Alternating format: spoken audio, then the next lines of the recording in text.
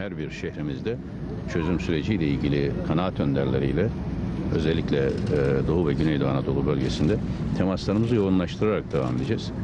E, Cuma günü yaptığım çağrı açıktır.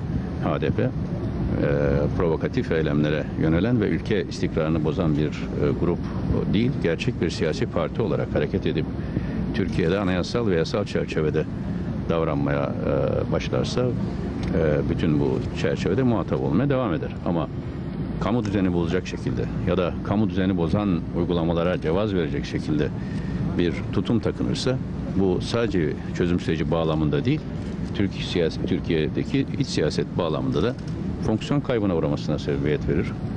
Ee, öncelikli çağrımız bütün siyasi partilere bir çözüm süreci bağlamında da onun ötesinde de e, demokratik siyasetin parçaları olmalı olmaları, şiddetin, terörün, eyle, e, izinsiz eylemlerin ve e, can mal e, kaybına, mal kaybına yol açan e, tutumların dışında olmaları, onları dışlamaları, onlara dönük olarak da açık tavır almaları. HDP bu tavrı aldığı zaman çözüm sürecinde de katkıda bulunur.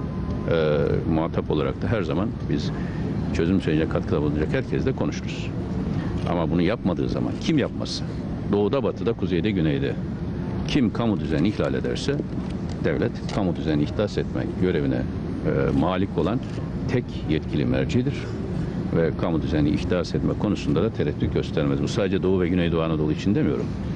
E, batı'da da şehirlerimizde de çok provokatif eylemler söz konusu olabiliyor. E, kaçak göçmenler konusu sadece Türkiye'de değil, bütün Avrupa'da da özellikle Akdeniz kıyısında olan ülkelerde de en temel meselelerden birisi. Biliyorsunuz İtalya'da da benzer olaylar e, yakın zamanda yaşanmıştı birçok ülkede.